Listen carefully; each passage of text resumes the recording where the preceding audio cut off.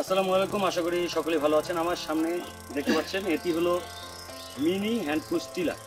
এটি ছোট একটি টিলার এবং এটি ক্রয় করেছেন আমারই ব্লকে আমি যে লক্ষ্মীচাপ ইউনিয়নে কর্মরত আছি, সেই ইউনিয়নের একজন কৃষক ধরণীকান্ত দাদা ক্রয় করেছেন। আমরা তার কাছে জানব যে তিনি এটি কোন কাজের জন্য ক্রয় করেছেন, কীভাবে তিনি এটি ব্যবহার করেছেন, করছেন এবং কোথা থেকে তিনি কিনেছেন, এটি সম্পর্কে তিনি কীভাবে জানলেন, সকল কিছুই জানব। তার আগে আমরা দাদা আপনাকে আমি অনুরোধ করব যে এই যে টিলারটি মিনি হ্যান্ড পুশ টিলারটি এটির কোন কোন অংশ রয়েছে সেটি যদি আপনি আমাদের দেখাতেন এখানে টিলারটি আপনার তুমি যেটা বলে স্টার্টিং আছে। হ্যাঁ। স্টার্টিং এর আগে আপনার কি অবন আছে? আচ্ছা। এই- যে সুইচটি এই যে এখানে একটা সুইচ দেখতে পাচ্ছেন এটা হচ্ছে অবন। মানে এটি করলে এই আমাদের আমরা স্টার্ট দিব হ্যাঁ। এটি অফ থাকলে এটা স্টার্ট দিলেও স্টার্ট হবে। আচ্ছা অফ অন সুইচ এবং অফ অন সুইচের নিচে আমরা একটু ক্লাসের মতো দেখতে পাচ্ছি। এটা হচ্ছে আমরা ওই যে ইয়া গুলো করছি আপনার লাঙ্গলগুলো লাঙ্গলটা সেটি লাঙ্গল আমরা পরবর্তীতে আসছি লাঙ্গলে। হ্যাঁ। মানে এটি আমরা যত জানব জোরে দিব তত লাঙ্গলের স্পিড তত বাড়বে। বাড়বে। আচ্ছা এরপরে এখান থেকে আমরা আসছি আস্তে আস্তে এই এটি একটি ইঞ্জিন ইঞ্জিনের বিভিন্ন অংশ রয়েছে সেটির দিকে যাচ্ছি। এই যে এই জিনিসটি স্টার্টিং স্টার্টিং এটা দিয়ে মানে এইভাবে টেনে টেনে আমরা স্টার্ট করব। আচ্ছা স্টার্টিং এর নিচে এইভাবে এটা ট্যাঙ্কির মতো দেখছি ফুয়েল ট্যাঙ্কি ফুয়েল ট্যাঙ্কি এটির মধ্যে কতটুকু ফুয়েল থাকবে? আমরা দুই লিটারের উপরে নেওয়া যাবে। হ্যাঁ। দুই লিটার উপরে নেওয়া যাবে। এবং আপনি এখানে লুব্রিকেটর আমরা কোথায় দিব বা মোবিল আমরা? মোবিলটা আপনার ওই আপনার এখানে ফুয়েল নেওয়ার আগে অর্থাৎ আপনি যখন পেট্রোল দিচ্ছেন পেট্রোল দেওয়ার আগেই পেট্রোলের সাথেই আপনাকে মোবিলটা অ্যাডজাস্ট করে নিতে হবে। ভালোভাবে ঝাঁকুনি দিয়ে অ্যাডজাস্ট করে নেওয়ার পরে এখানে দিতে হবে। আচ্ছা এটি কতটুকু দিব? আমরা প্রত্যেক এক লিটার পেট্রোল এটি এর মধ্যে আমরা জেনে গেলাম যে এটি পেট্রোলে চলে অর্থাৎ এ, কিন্তু এটা ডিজেলে চলে না অবশ্যই পেট্রোলে চলে। এবং প্রত্যেকে এক লিটার পেট্রোলের জন্য আমরা কতটুকু লুব্রিকেটর এসে দিব? এখানে এক লিটার পেট্রোল দিলে আপনাকে চল্লিশ মিলিগ্রাম দিতে হবে। চল্লিশ মিলি এবং এখানে। এক লিটার যদি পেট্রোল অথবা অক্টেনও আমরা ব্যবহার হ্যাঁ করতে পারি হ্যাঁ। যদি এক লিটার পেট্রোল অথবা অক্টেন ব্যবহার করি তাহলে এটিতে আমরা কত কতটুকু জমি আমরা কর্ষণ করতে পারব? এক লিটার দিয়ে আমি যেটা অনলাইনে যেটা পেয়েছি সেটা হচ্ছে যে অর্থাৎ যার কাছ থেকে মেশিনটা নিয়েছি ওনার সাথে ফোনে কথা বলতেছি। উনি বলছে যে দুই বিঘা চাষ দেওয়া।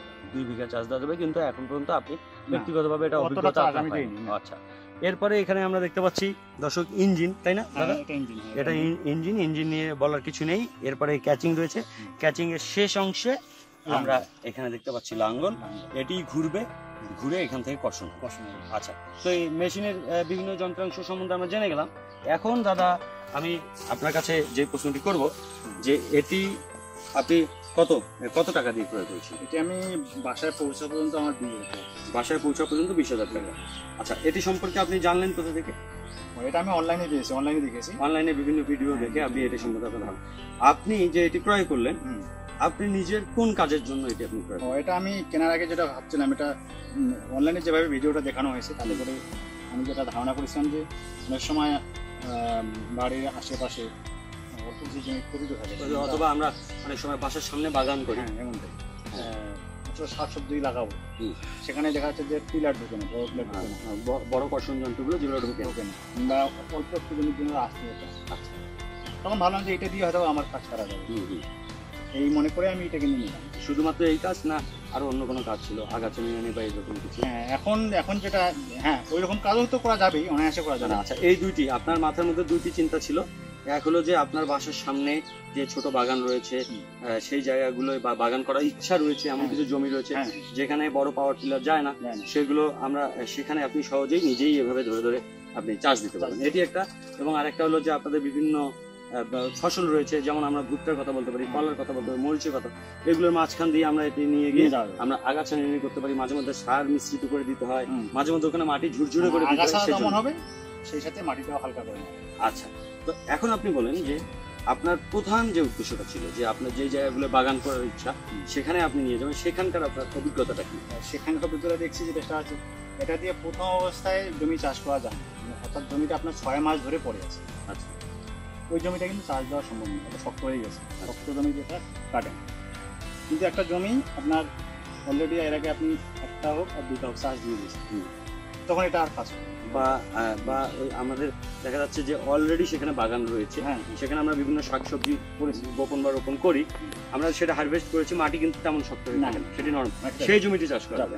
তো দর্শক আসলে আজকের ভিডিওটি এই যন্ত্রটি দেখানোর উদ্দেশ্য একটি এবং যেটি প্রধান উদ্দেশ্য ছিল দাদা যেই কথাটি এখন আমাদের বললেন যে দাদা যে যন্ত্রটি কিনেছেন, যেই উদ্দেশ্য নিয়ে তার যে জমিটিকে তিনি চিন্তা করে কিনেছেন, সেটি কিন্তু প্রথম অবস্থায় সেটি শক্ত রয়েছে। ছয় মাসের বেশি সময় ধরে জমিটি পড়ে রয়েছে, সেটির মাটিটি শক্ত, সেটি কিন্তু এটি দিয়ে চাষ দেওয়া যাবে না। এবং তিনি বলেছেন যে তিনি অনলাইনে বা ইউটিউবে কোনো ভিডিও দেখে দেখে তারপর তিনি কিনছেন।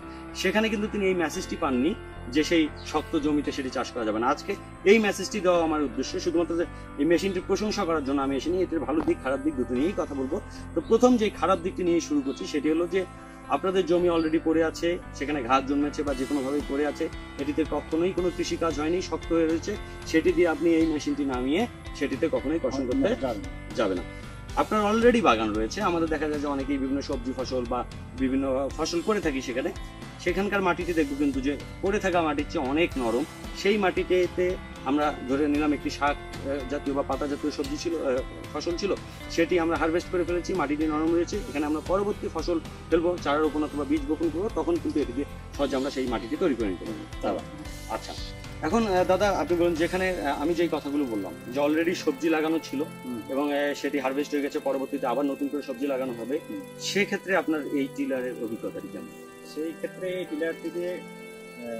আপনার উম, অল্প পরিসরে আপনি চালাতে পারবেন অল্প পরিসরে হ্যাঁ। বলতে অল্প পরিসরে বলতে আপনি ব্যাপক যদি করেন আপনি যে প্রজেক্ট করেন হ্যাঁ পাঁচ দশ বিঘা পাঁচ দশ এটা সেটা তো হবে না। হ্যাঁ, সেটাতে আমরা তো এটাই সেটাতে আমরা বড় ইয়ে নিয়েই যেতে পারি। আমি বাসার সামনে ছোট পরিসরে আপনি সেটা সেক্ষেত্রে আমি করতে পারবেন করতে পারব এবং হ্যাঁ। সেই ক্ষেত্রে যে চাষটি হবে। যে অলরেডি সবজি ছিল সেক্ষেত্রে যে নরম মাটিতে যে চাষটি হবে। সেটি দিয়ে আমাদের কাজ তো হয়ে যাবে হ্যাঁ, সেটাই কাজ হবে সেটা হ্যাঁ। এটা সম্পর্কে যেটা অভিজ্ঞতা সেটা হচ্ছে আপনার প্রথম চাষে অত ভালো হবে না দ্বিতীয় চাষ আমি দেখেছি অলরেডি মোটামুটি হ্যাঁ সেটাই আসলে কথাটি দাদার মুখ থেকে শোনা আমি নিজেও এটি পরীক্ষা করলাম একটু আগে আপনারা ভিডিওতে হয়তো দেখতে পাচ্ছেন যে এটি আমরা যদি আমি বলেছি প্রথমেই যে এই বাগানটি অলরেডি আমাদের করা রয়েছে হারভেস্ট হয়ে গেছে দ্বিতীয়বার আবার ফসল ওখানে আমরা লাগাবো। সেক্ষেত্রে আমরা যদি দুই চাষ দিয়ে নিই এই পাওয়ার টিলার দিয়ে নিজেরাই তাহলে সেটি অনায়াসেই পরবর্তী সবজিটি সেখানে লাগানো যাবে। এখন আমি দাদার সঙ্গে কথা বলি যে আমরা একটু আগে কলার জমিতে এটি মাঝখানে আগাছা নিরানোর চেষ্টা করি হ্যাঁ তো সেক্ষেত্রে আপনি নিজেও দেখলেন আমরা অনেক কৃষককেও দেখালাম এবং আমি নিজেও দেখেছি। তো আপনার আগে অভিজ্ঞতাটা শুনি যে সেটি দেখে আপনি কি বুঝতে সেটা এই ক্ষেত্রে যে আমাকে বলতে বলেন, তাহলে আমি বলব বর্তমান সময়ে মজুরি পাওয়া খুব টাফ ব্যাপার। সাধারণত পাওয়া যাচ্ছে না। সবাই খুবই ব্যস্ত, কাজে ব্যস্ত। সেক্ষেত্রে এটা দিয়ে আপনার প্রাথমিকভাবে অনেক কিছুই করে নেওয়া যাবে। যেমনটা এই ব- আজকের দিনে যেমন রোদ্র ওরকম চাষ হলে কিন্তু একটা আগাছা করবে না সব মিলে। আচ্ছা। সেই কাজটা আমি আমি আমার অন্যান্য কাজের ফাঁকে আমি নিজেই কাজটা করতে সেটি করা যাবে। তো দর্শক, আমরা আজকে যেটি বুঝলাম যে এই মেশিনটি সম্পর্কে, সেটি হলো যে এটি শক্ত মাটিতে একদমই চাষ দেওয়া যাবে না।